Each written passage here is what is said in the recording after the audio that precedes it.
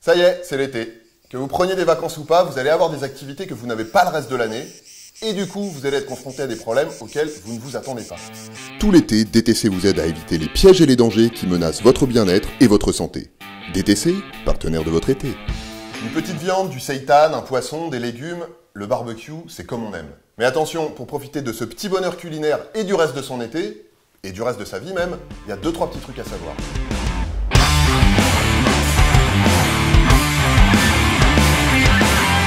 D'abord, le barbecue, ça brûle. Non Ok, tu grandiras jamais en fait. Si. Bah non. Si. Non. Si. Non. Si. Non. On parle quand même de 200 accidents chaque année en France qui peuvent toucher un peu tout le monde, c'est-à-dire celui qui s'occupe du barbecue, les gens qui sont autour et surtout les enfants. Donc on va voir ce qu'il faut faire en cas d'accident, mais comme prévenir c'est toujours mieux que guérir, quelques petites règles à respecter pour se régaler sans se brûler. Avant même de commencer, s'il y a des enfants autour, éloignez-les et tenez-les à distance jusqu'à ce que le barbecue soit éteint. Assurez-vous que votre barbecue est bien aux normes de sécurité et choisissez bien l'endroit où vous allez l'installer. Il faut que le terrain soit bien plat pour que l'appareil soit stable, à l'abri du vent et bien dégagé pour pas mettre le feu autour de soi.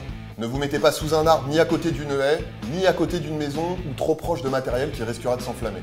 C'est d'autant plus important de bien choisir son emplacement qu'une fois que le barbecue sera allumé, il faudra surtout pas essayer de le déplacer. Choisissez bien votre tenue aussi, pas de vêtements pas de manches longues et plutôt du coton, surtout pas du synthétique parce que quand ça brûle, ça fond et ça colle à la peau.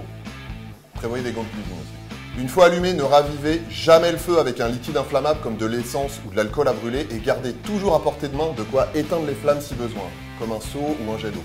Pour le surveiller et pour surveiller les gens qui sont autour, ne vous éloignez jamais trop du feu. Pas trop près quand même. Et allez-y doucement sur l'apéro. Faire à manger, boire de l'alcool. Aujourd'hui, le barbecue. Une fois que vous avez terminé, éteignez bien votre barbecue et restez vigilant tant qu'il n'a pas complètement refroidi. Bon, mais si malgré toutes ces précautions, un drame arrive quand même, qu'est-ce qu'il faut faire? Premier cas de figure, quelqu'un est en feu et ses vêtements brûlent. Bon, là on est mal, mais il faut pas céder à la panique. Première chose à faire, demandez à quelqu'un d'appeler le SAMU au 15, éloignez la personne du barbecue et empêchez-la de courir. Ça attiserait les flammes et il irait foutre le feu partout. Ensuite, dites-lui de se mettre au sol et trouver une couverture. Attention, pas en synthétique, hein, pour les raisons qu'on a vues tout à l'heure. N'importe quel grand morceau de tissu fera l'affaire, c'est pour le recouvrir et étouffer les flammes. Si vous n'avez pas ça sous la main, vous pouvez aussi lui demander de se rouler par terre pour éteindre le feu. Une fois que c'est fait, faites doucement couler de l'eau à une vingtaine de degrés, 20 cm au-dessus des brûlures pendant 20 minutes. C'est pour refroidir et calmer les douleurs. Retirez le reste des vêtements sauf s'ils collent à la peau et aussi les bijoux. Les zones brûlées vont gonfler, il faut éviter que les bagues, les bracelets ou les chaînes restent coincées dedans. En attendant l'arrivée des secours, il faut laisser la victime sur le sol en position demi-assise, c'est-à-dire légèrement penchée vers l'arrière et adossée sur quelque chose, sauf si le dos a été brûlé. Couvrez-la avec des linges en coton propres et secs pour éviter une hypothermie, c'est-à-dire une chute importante de la température corporelle à cause des brûlures et du refroidissement.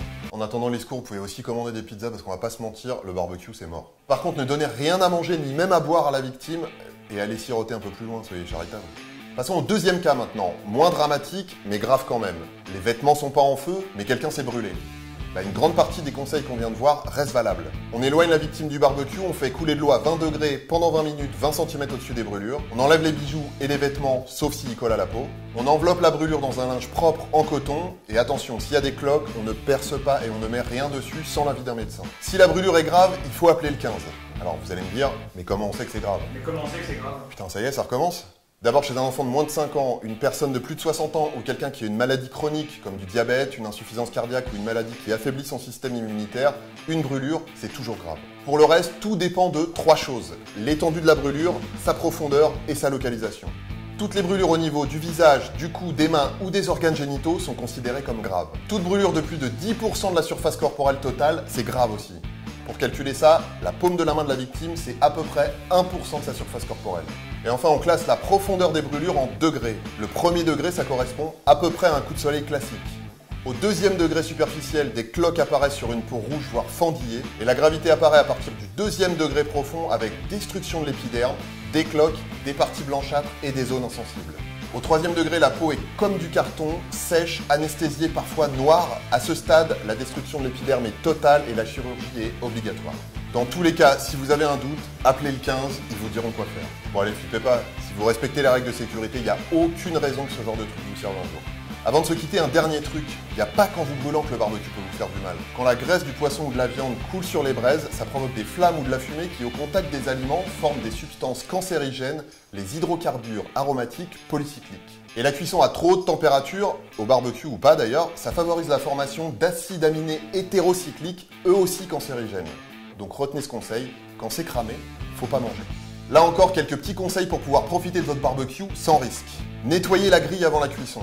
Allumez votre feu à l'ancienne ou si vous utilisez un accélérateur, prenez-en un qui est fait pour ça et attendez qu'il est complètement brûlé avant de mettre vos aliments à griller.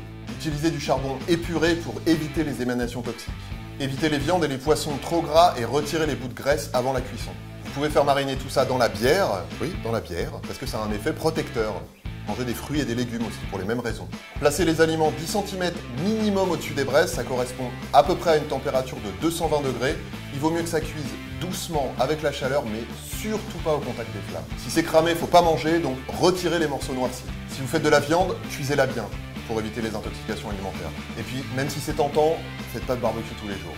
Deux fois par semaine, c'est bien. Voilà, DTC, c'est fini pour aujourd'hui. On se retrouve non pas la semaine prochaine, mais dans 15 jours pour une nouvelle vidéo spéciale été. En attendant, bonnes vacances à ceux qui en ont, bon courage à ceux qui n'en ont pas, et pour tout le monde, mettez-vous bien et portez-vous bien.